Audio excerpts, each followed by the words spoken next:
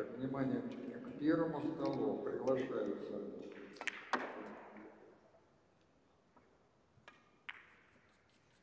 приглашаются Виноградов Антон, Владимирская область, Молчанов Александр, Республика Татарстан.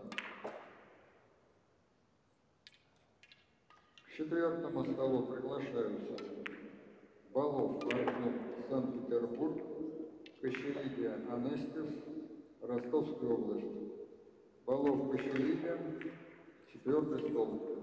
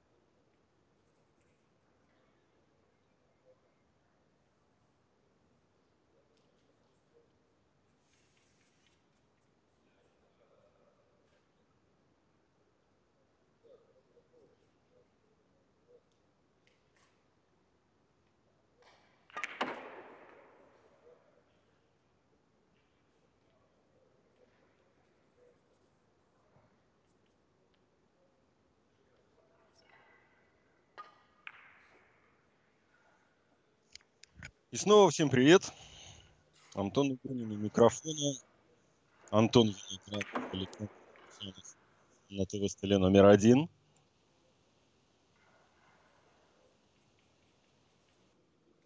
Наблюдаем, наверное, заключительное включение с первого игрового дня. Это чемпионат России среди юниоров. Интересный матч сразу же со самого старта. Чуть более 40 участников. Тут у нас младшей возрастной категории, в этой постарше. Все играют до 16 лет, плюс девушки, конечно же, и юниорки также играют. Это все происходит в Сургуте. А хороший вопрос был тут у нас в чате. Можно ли попасть в зал, сколько стоит билет? Ну, билетов, скорее всего, нет. Практически в 100% случаев, за редким-редким исключением. Вход свободный. Но пустят или не пустят, другой вопрос. Зависит от решения губернатора Югры допускать ли на массовые в каком объеме. Это надо уточнять.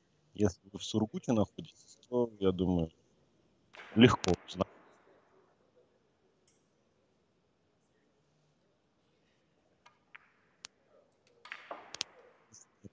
уточнить, то так и быть. Я спрошу завтра.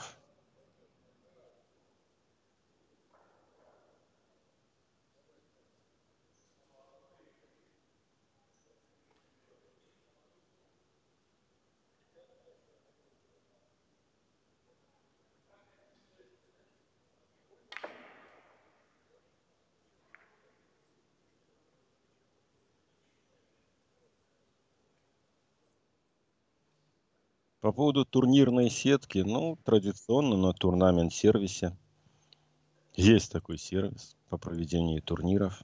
И все сеточки там.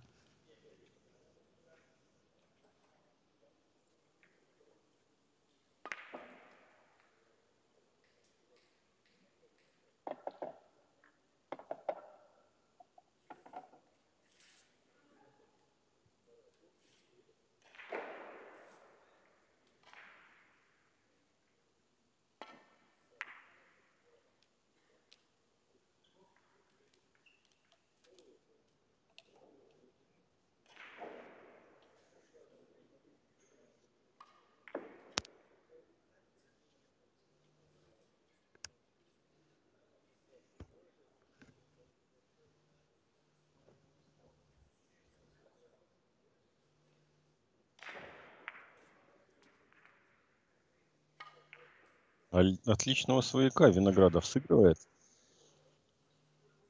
На некоторое время Антон ушел в тень.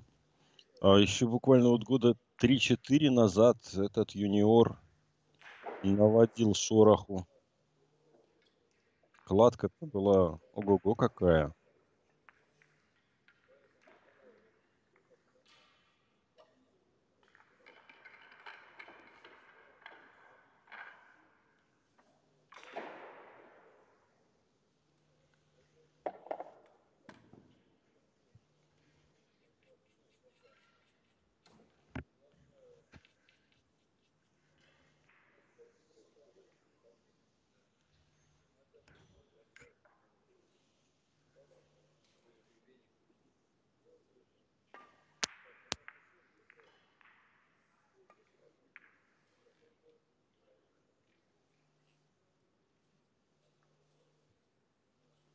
Ну и Виноградов, конечно, знает о том, что его соперник кладет «Будь здоров». Ну и Александр тоже, как я только что сказал, обладает знаниями о кладке Виноградова. Тут гадалки не ходи. Поэтому будут действовать максимально осторожно.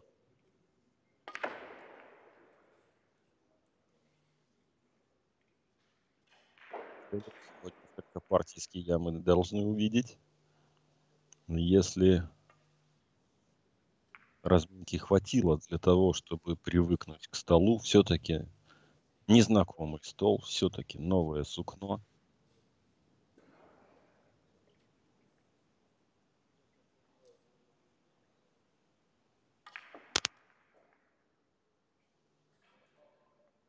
Э, Внимание, к пятому столу приглашаются Зоев Константин, Свердловская область, и Гребенников Алексей, Самарская область. Стол номер пять. Зоев Гребенников.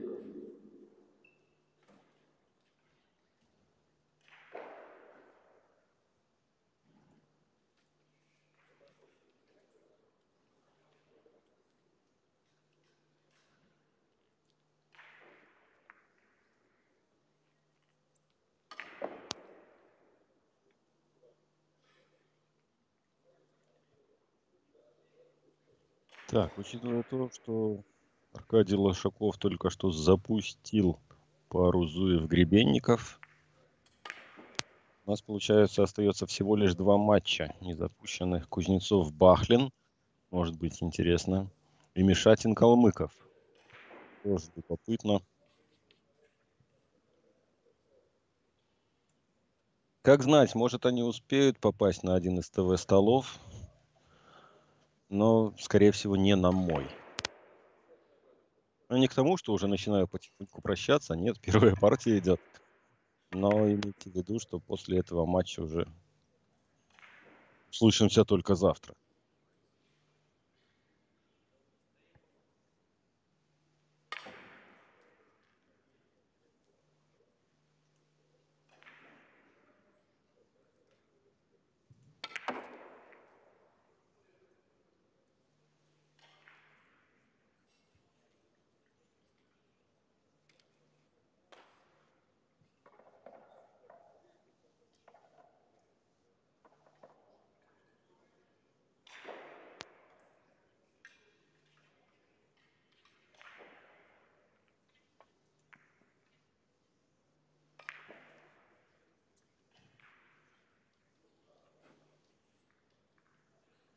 Внимание, к третьему столу приглашаются Мишатин Константин, Хабаровский край, и Калмыков Сергей, Калужская область. Мишатин, Калмыков, стол номер три. Дальневосточникам радость. Мишатин. Не скажу звездочку, скажу, наверное, уже звезда Хабаровского бильярда. Попал на ТВ стол номер три. Можете смотреть, можете болеть.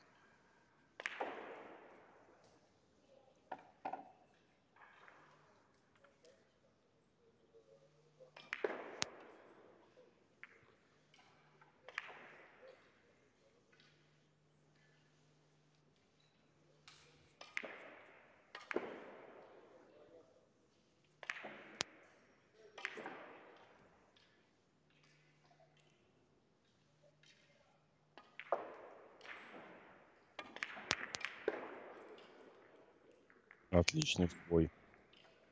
И новое скользкое сукно не помеха. Вы смотрите. Шикарным свояком, свояком заканчивает Александр Молчанов. Первая партия. Чуть-чуть понервничали, поосторожничали. Дальше, я думаю, пойдет бодрее. Уже отметили в чате, что это как вытянулся Молчанов.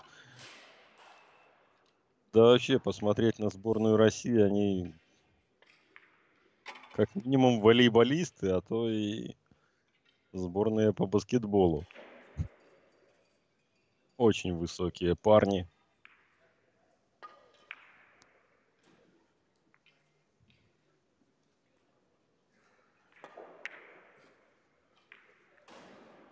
Чуть-чуть не добивает.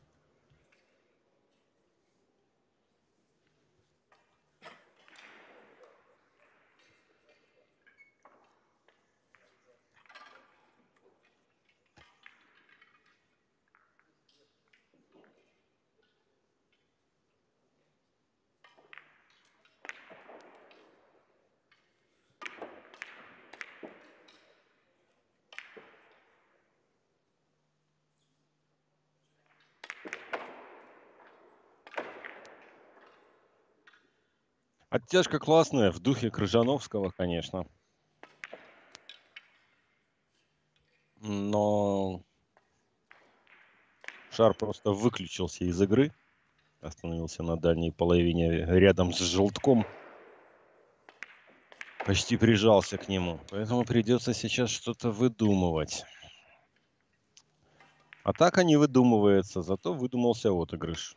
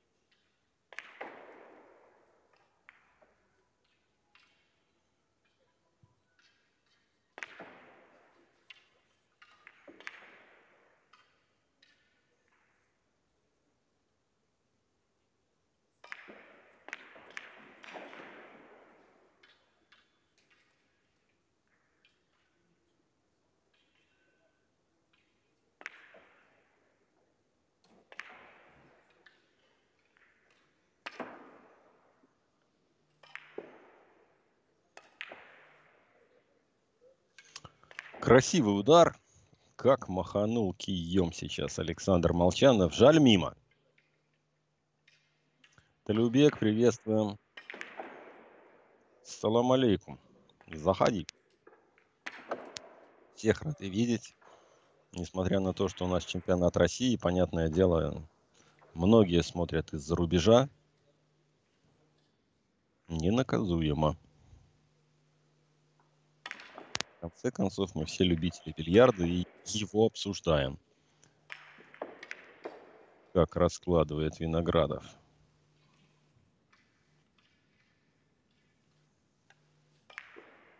Э, да, Иосиф э, и Артем Балов, конечно, переросли давным-давно уровень первенства России.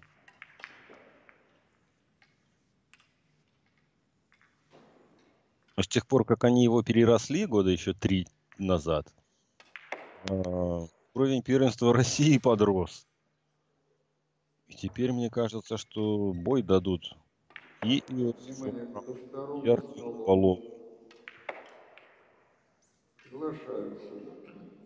Кузнецов, Не удивлюсь, если выиграет кто-то другой, не из этого дуэта.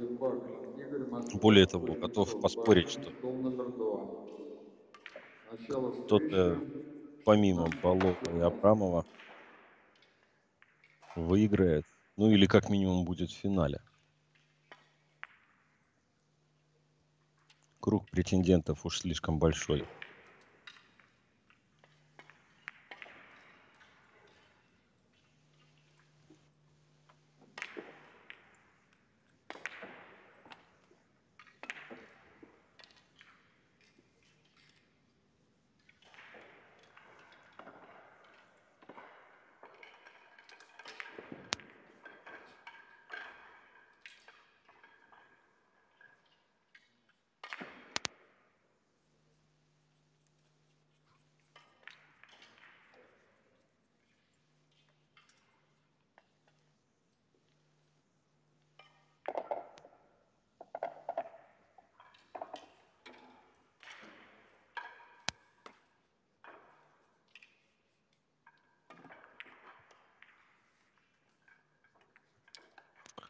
Совсем не обязательная ошибка Антона Виноградова вывела на атаку Александра Молчанова, который мог закрепить свой успех, развить его, однако тоже дал мимо.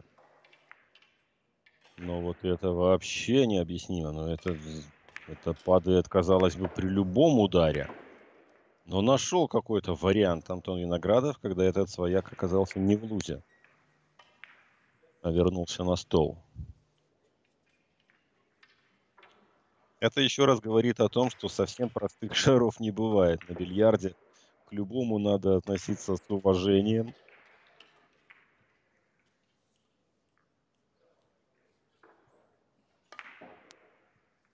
И крайне желательно, конечно, отрабатывать свои подходы до автоматизма, чтобы не менялся ваш подход.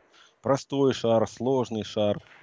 Должен быть одинаковый заход в стойку, одинаковое прицеливание, желательно одинаковая пауза перед ударом. И будет, будет вам счастье.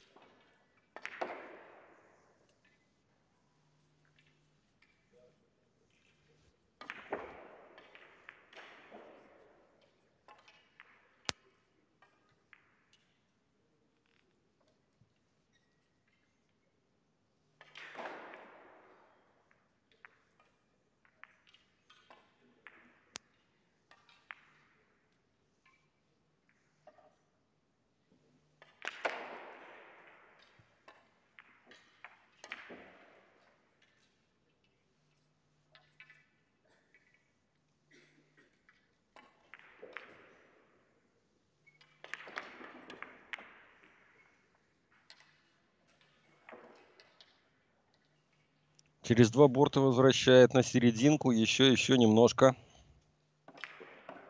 Все-таки далековато. Мог быть шары проще.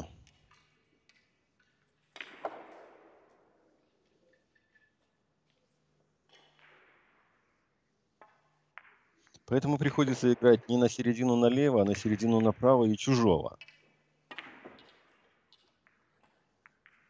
Вот 5 сантиметров прокати дальше, был бы свояк налево. Вероятнее всего он был бы забит.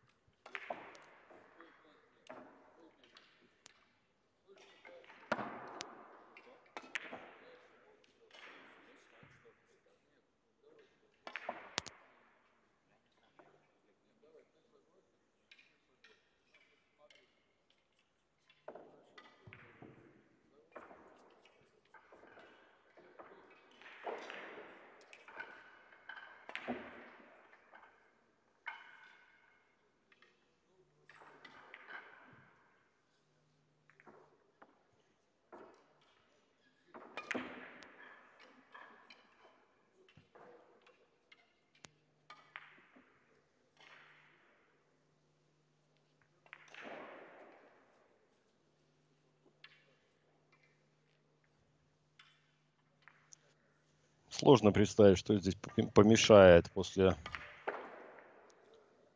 мега щедрого подхода Александра Молчанова завершить эту партию Антону Виноградову.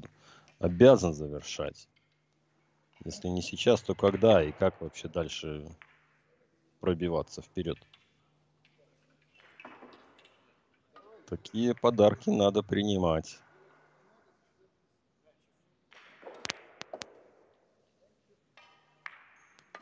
Ну не перемудрил ли?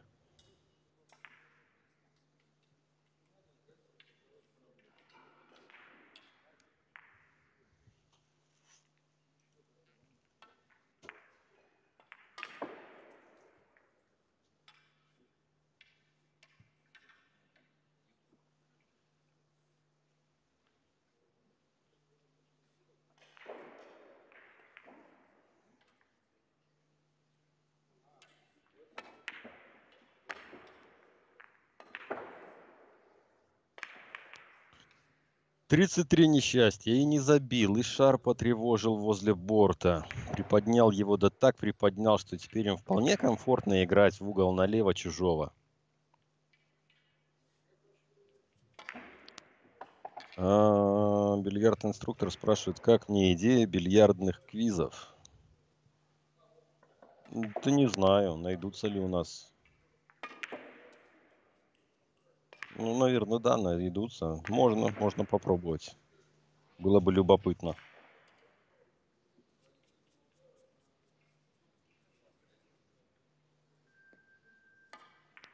Вопрос организации, как это все будет устроено. Наверное, по зуму в онлайне.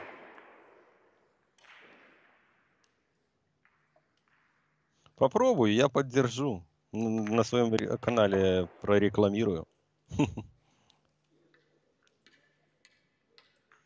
Если у себя сделаешь на YouTube канале, будет прикольно.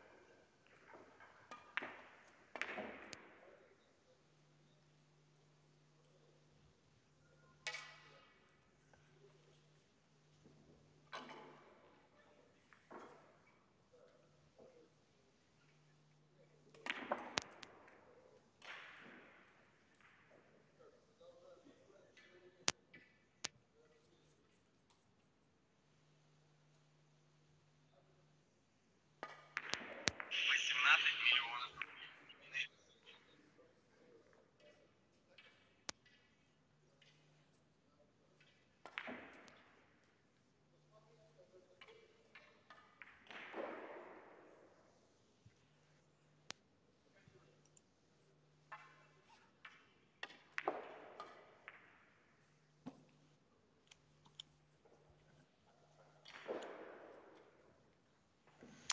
Пока на втором столе смотрели повтор, у меня пропадала картинка из зала. Ну, теперь все наладилось, возвращаемся. И смотрим за третьей партией. Виноградов, Молчанов. Должен был Виноградов, на мой взгляд, брать предыдущую партию.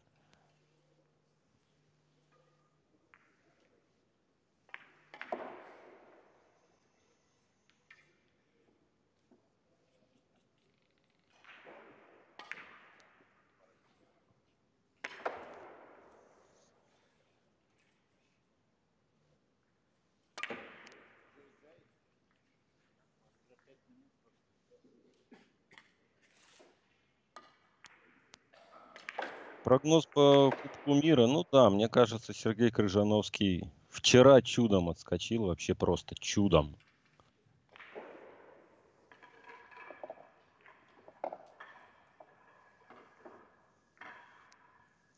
Похоже, что эксперименты с наклейкой Дмитрия Белозерова еще не завершены в полной мере. Поэтому его штрафы, конечно, и помогли Сергею. Но без тренировки выигрывать турниры, это, я, может быть, странную вещь скажу, но я против такого подхода. Пусть побеждает не такой талантливый, как Крыжановский, но трудолюбивый. Потому что победа Крыжановского, она, конечно, многим понравится. Многие скажут в очередной раз супер, космос. Это нереально, так, таких больше нет. Но это обесценивает бильярд как вид спорта, превращает просто в игру, где по факту можно выиграть не тренируясь.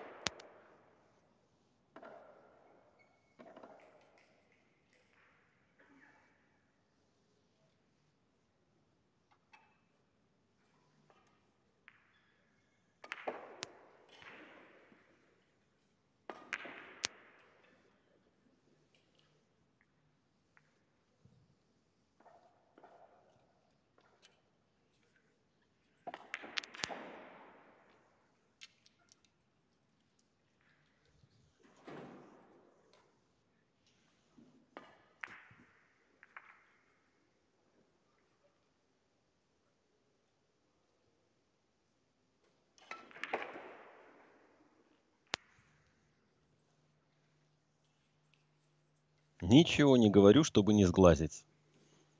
Но вроде бы взялся за ум Виноградов и пошла серия.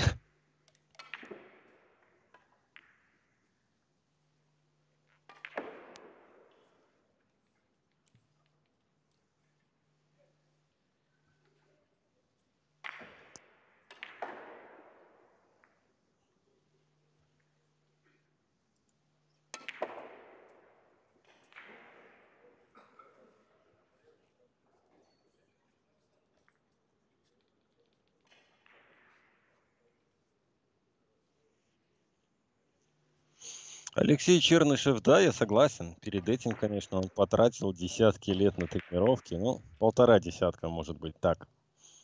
Но в этом плане он не исключение исправил.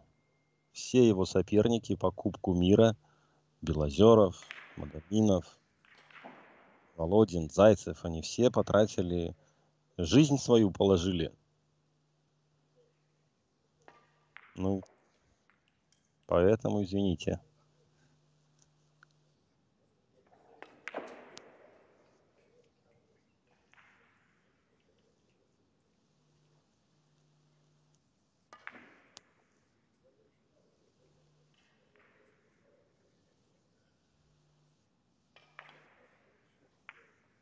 Как не хотелось бы увидеть партию ския, но не в этот раз.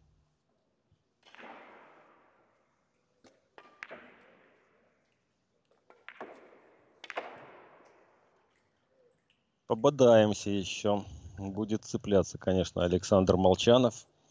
В его интересах сделать счет 3-0.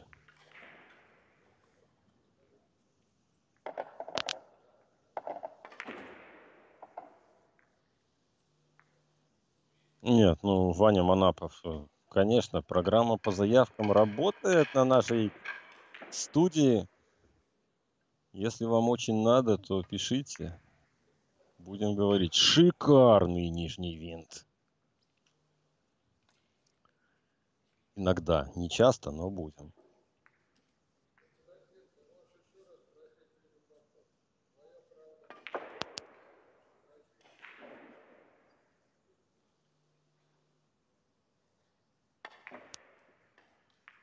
Нет, на этом турнире нет никаких призов за лучшую серию.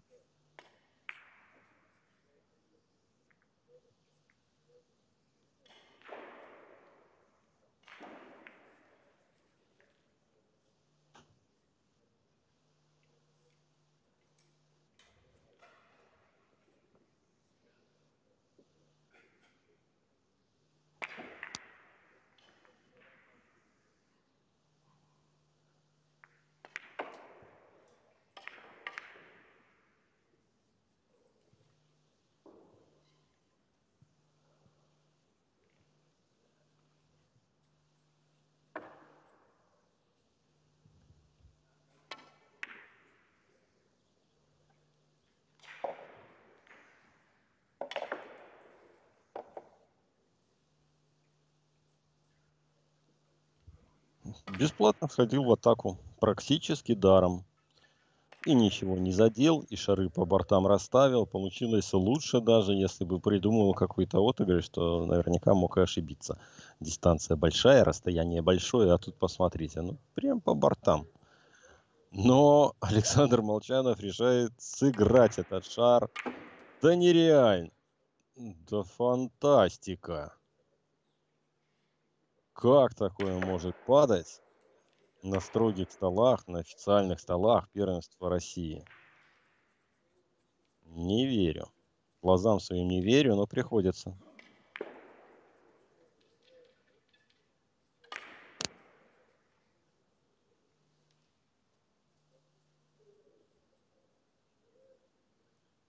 Но сейчас он что бьет? Смотрим на дугу.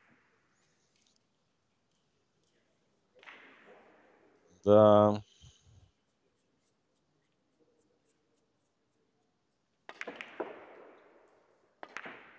Какой-то трюковой бильярд начинает показывать там Александр Молчанов.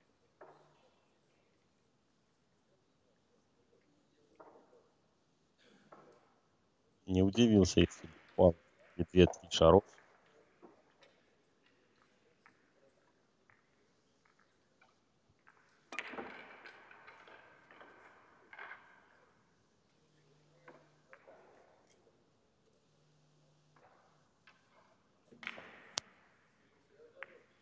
Красивые шары это здорово. Но победу приносят не красивые, а, как правило, восьмые шары. Пусть не неказистые, не замысловатые, но восьмые.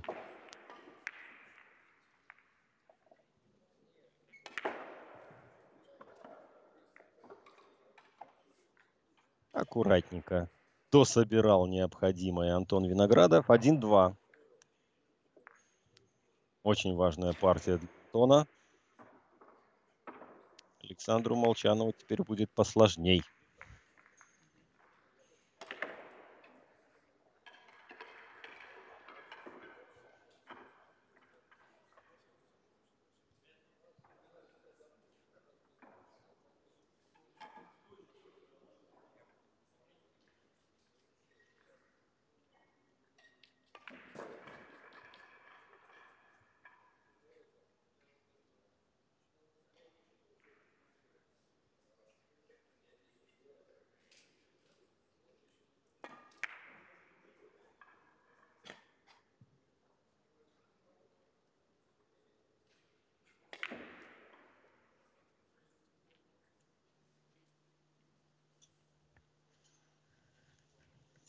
Времени у нас тут неограниченное количество. Можно обойти вокруг стола хоть три раза. Но даже полкруга не делает Антон Виноградов. И второй вылетевший шар за сегодня. Вот вы мне сколько угодно говорите, что эти облегченные шары не вылетают со стола, но подобного такое я вижу крайне редко.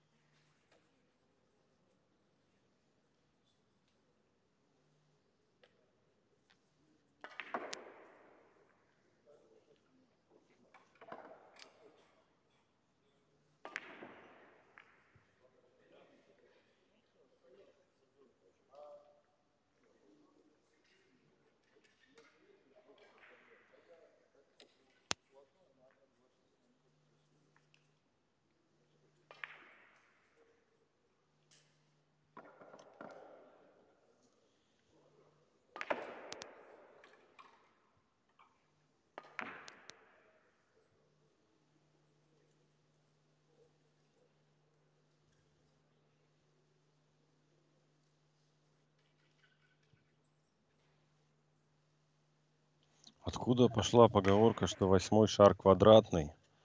Ну, откуда? Из народа, естественно.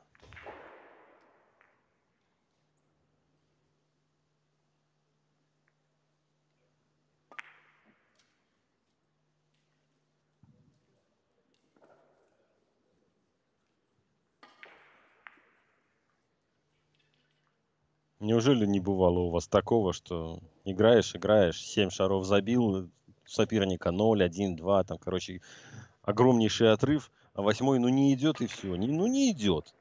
Поэтому и называют, что квадратный.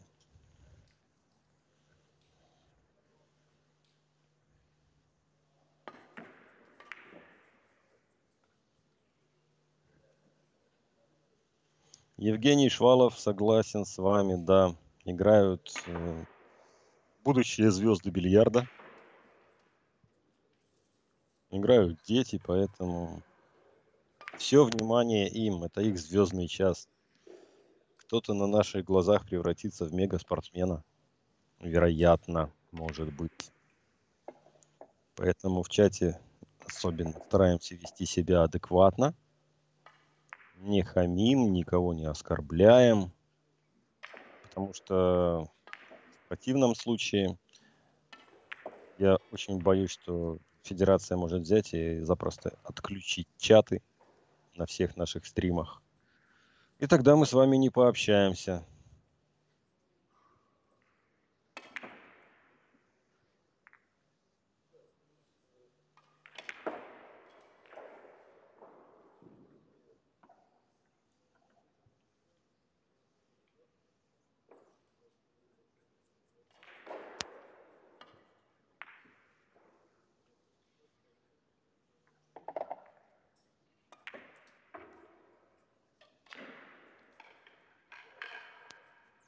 Да, подобные шары, конечно, для Молчанова, как семечки.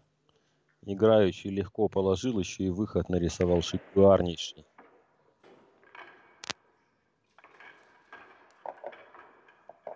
Уважаемые киевные мастера, подскажите, какой клей вы используете для приклеивания наклейки? На фибру, в частности. Давайте поможем одному из зрителей, у которого через день отлетает.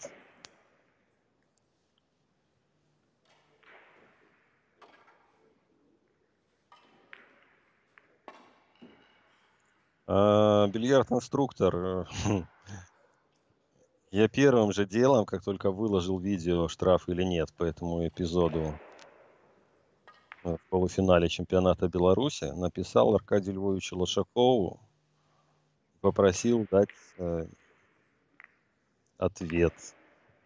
Что да как, желательно текстом или голосовым сообщением, чтобы я потом мог его использовать в монтаже пояснительного ролика.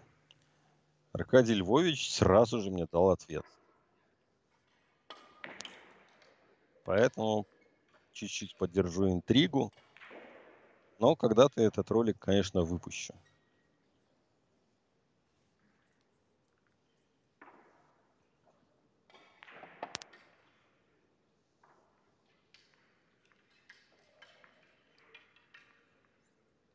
Неудобно играть. Но, несмотря на то, что такой шаткий мост, разыграно классно.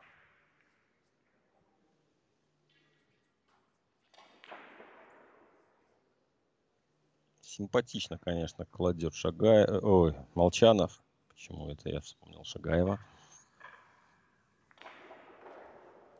Чужие ему даются такие крутые. И свояки волосяные.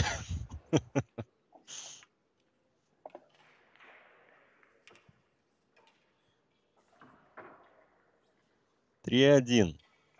Здорово смотрится. Антону Виноградову надо показывать свой лучший бильярд, чтобы соперничать с Молчановым.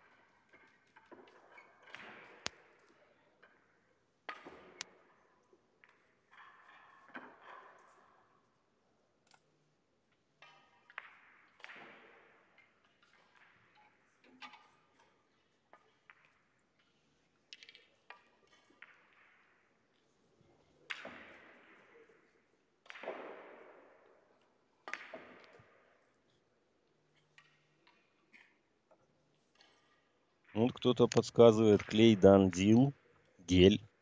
А, говорят, космофен используют. Я лично не пробовал, не знаю. Нет, многие, конечно, зрители после моих репортажей задаются вопросом, а что же за клей пробует комментатор? Но не космофен.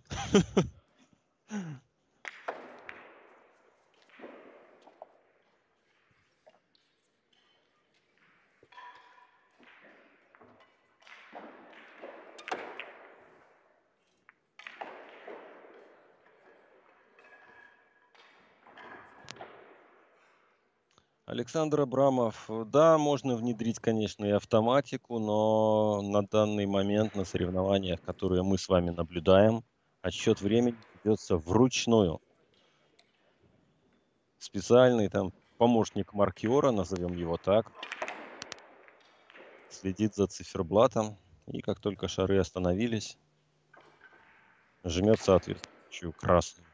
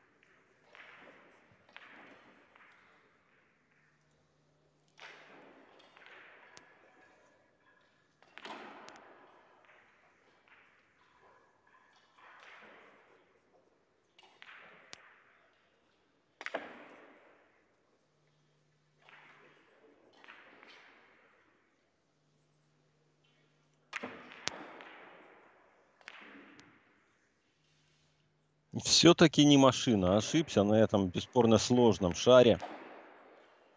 Обрывается серия Александра Молчанова. Ну, вообще, конечно, впечатляет, как он разбирает позиции, как легко он играет. Такое ощущение, что ему просто никто не сказал, что это сам Антон Виноградов. И с ним так нельзя.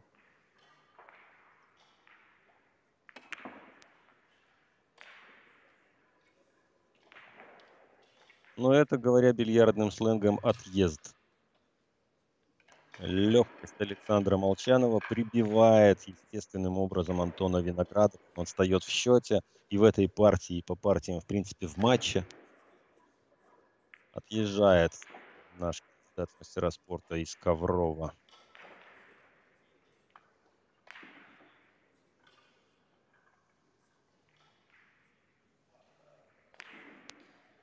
Если будет счет 4-1, то, конечно, возьмет перерыв.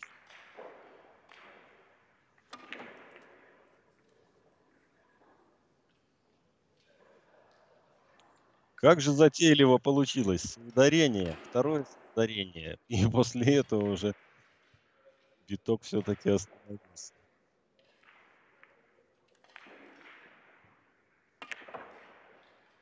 Мощнейший винт. Просили, знаю об этой фразе.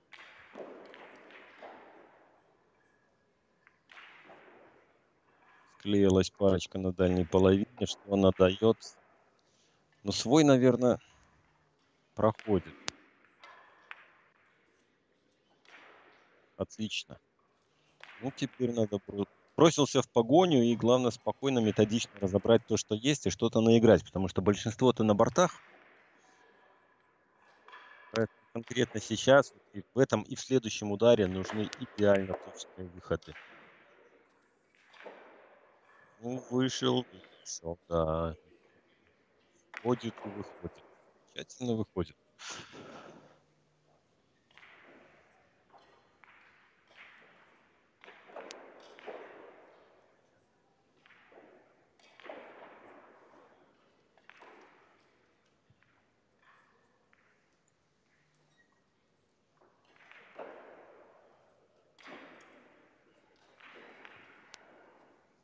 По поводу того, что Молчанова не предупредили, кто такой Виноградов, я, естественно, пошутил. Они играли между собой, причем не так давно где-то в Короне пересекались там Legend Cup. Сейчас глянем. Да, седьмой тур был. Виноградов выиграл 4-2. На первенстве Ро- России среди юношей а, было это в 2019 году. Аналогичный турнир, но среди юношей до 16 лет. Они встретились в финале. И Антон Виноградов победил.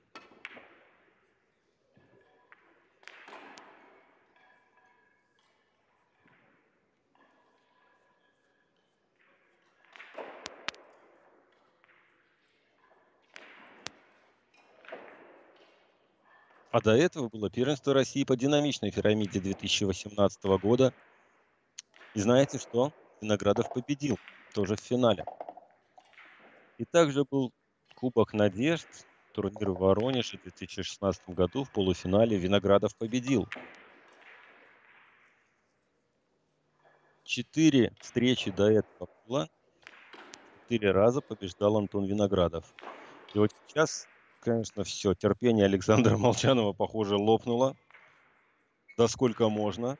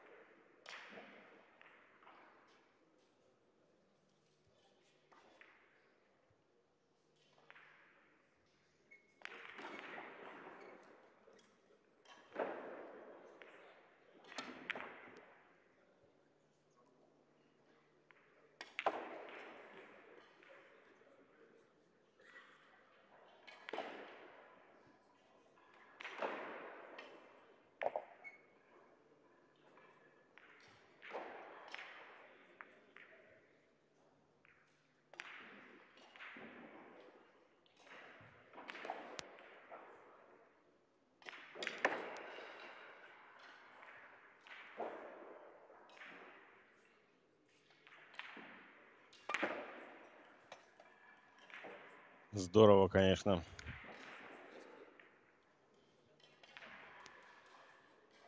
Выглядит все так, что у Александра Молчанова настрой на победу серьезно.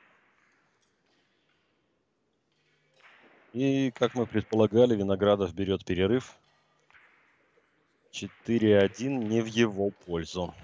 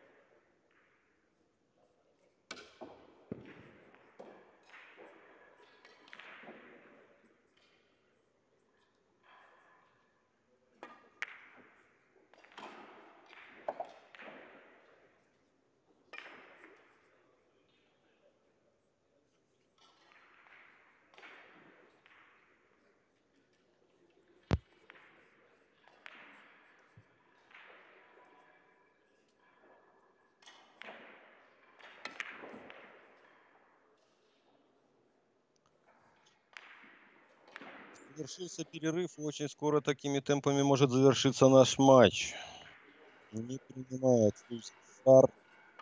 Ну, для начала не приняла шар Александра Путянова. На разбое он практически попал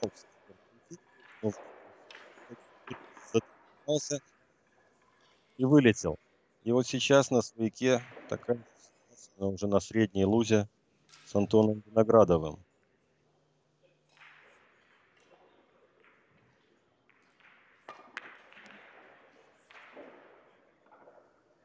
Подбой. Не сильный, но достаточно неплохой для того, чтобы развить свой успех.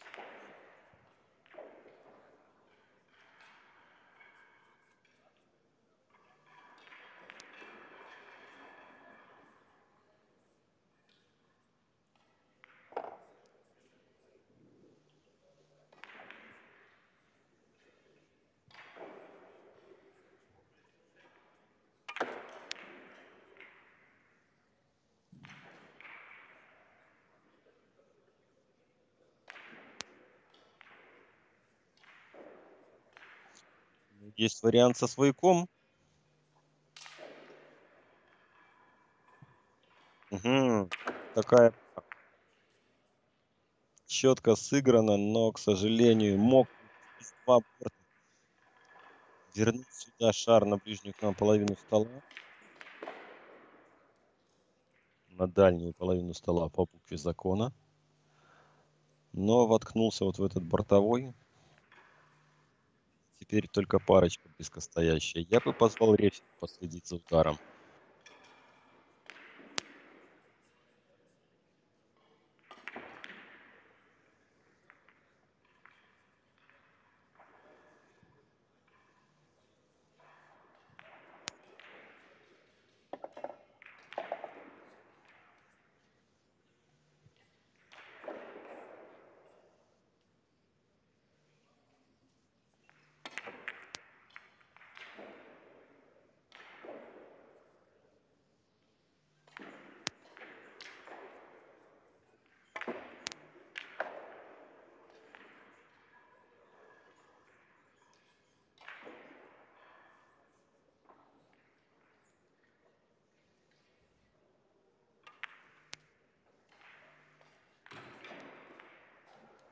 Очень похоже на финишную прямую.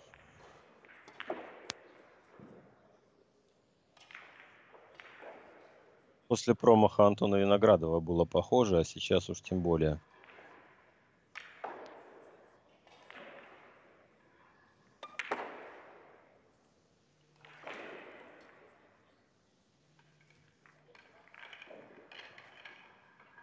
Неожиданно. Я, конечно, думал, что будет побольше борьбы.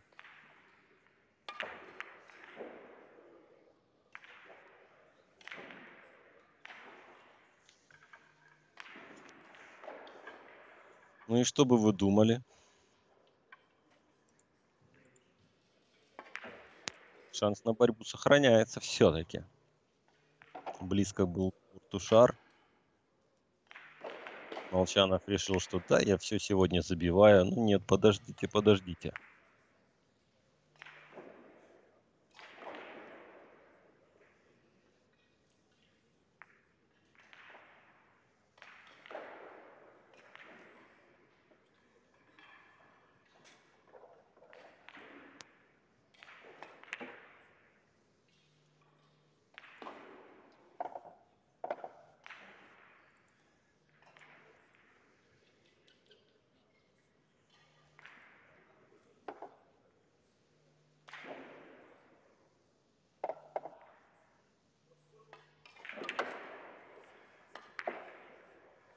Антон Виноградов должен запомнить этот матч как матч упущенных возможностей.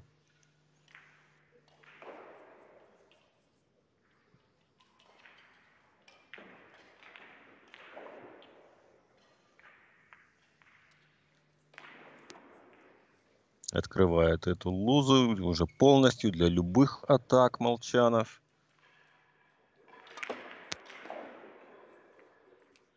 И, наконец-то, вот победа над э, серьезным, грозным соперником Антоном Виноградовым, которого долгое время не мог одолеть Александр Молчанов. Поздравляем! Антон уже надо как-то прийти в себя.